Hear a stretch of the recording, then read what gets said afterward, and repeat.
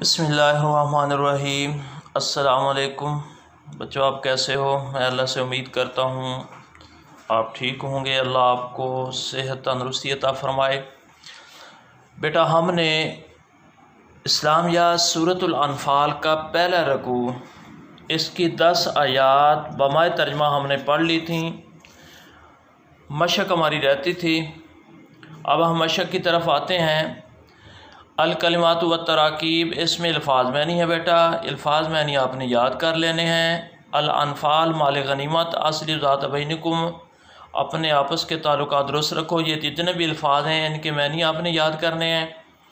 اور note book پہ لکھنے بھی ہیں۔ اس کے بعد تمارین ہے اس میں دو سوال ہیں، مومنوں کی صفات بیان کریں۔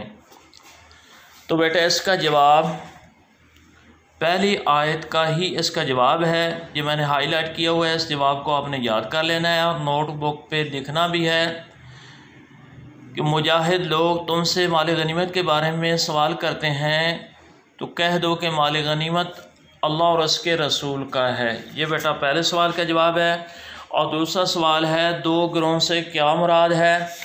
اس کا جواب بھی پیج نمبر سیون پہ ہے، میں نے ہائی لائٹ کیا ہوا ہے دو گروہ سے مراد، ابو سفیان، ابو جہل کے دو گروہ ہیں۔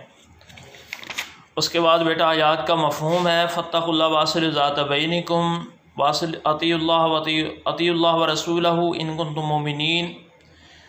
ان کا آپ نے صرف ترجمہ یاد کر لینا ہے اور نوٹ بک پہ لکھ لینا ہے۔ ذات الیہ تعلیم آیات زیادہ تم ایمانہ یہ تین آیات جن کا مفہوم آپ نے لکھنا ہے اور یاد کرنا ہے اور دو سوال یہ بیٹا آپ نے نوٹ بک پہ یاد کرنے ہیں، نوٹ بک پہ لکھنے بھی اور یاد بھی کرنے ہیں اور الفاظ معنی کتاب سے آپ نے یاد کرنے ہیں اور انشاءاللہ ایک دو دن میں آپ کا اسی سبق کا ٹیسٹ لیا جائے گا۔